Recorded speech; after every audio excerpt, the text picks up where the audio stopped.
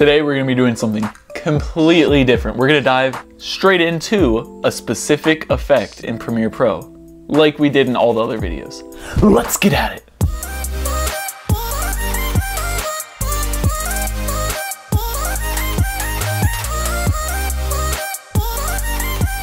My name is Respect, and in today's installment of our Premiere Pro Master Series, we're gonna be talking about levels.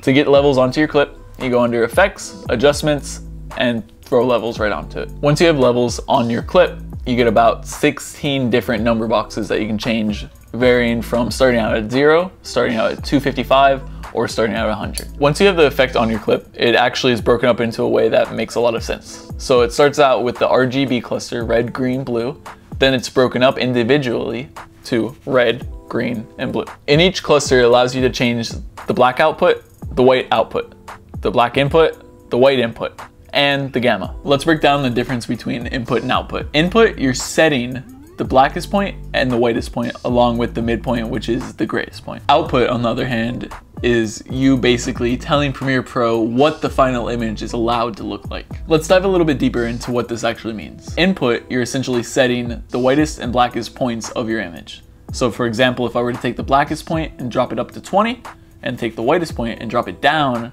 to 235, you can see the image is essentially squished. Output is essentially stretching what you set for your inputs to create these new blackest point and whitest point, and then allowing you to refine your whites and refine your blacks. Now the last option you have in all these panels is gamma, which is essentially setting the exposure for these colors. All of these things we've spoken about so far transfer over to each panel. So for your red panel, your blue panel, and your green panel, it's basically setting the same parameters. Similar to the effect we did last week, extract. If you open up your effects panel, you can go across from where it says levels and open up a little chart that gives you a histogram. This new window is the same exact thing as your effects panel, except you have a histogram to visually help you, you have an image to visually help you, and you have sliders to smooth it over easier. Now you might be wondering why you wouldn't just go into Lumetri scopes and use everything in there instead of messing with this weird effect. And you probably should just go into Lumetri scopes and mess with everything there and just ignore this effect.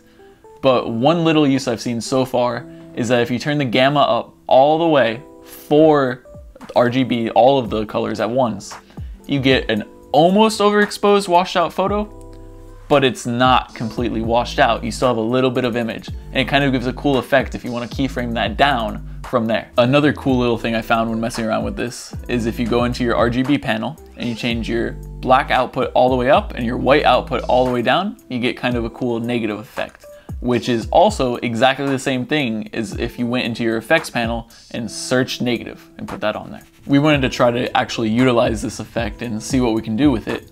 So what we did is we took a clip where we have a defined horizon, so we have the sky on the top half and grass on the bottom half. We drew a mask inside of this effect, and then we affected the green output input and kind of gave it a more saturated look over the green. Now this is kind of cool using it like this because if we're not cutting out the drone that's in the middle, you get the reflectiveness of the green on the drone. So it kind of sells the idea behind this effect a little more rather than cutting it out and you still see the lighter green reflecting on it.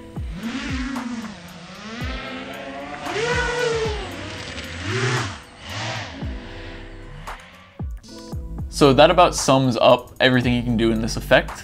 It's really an outdated version of Lumetri Color. I would recommend personally just stick in Lumetri Color, but it's kind of cool to understand what's actually happening behind the sliders and behind the scenes of everything. As always, thank you guys for the continued support. It really means a lot to us. If you like the channel, please subscribe. If you don't like the channel, please never visit us again.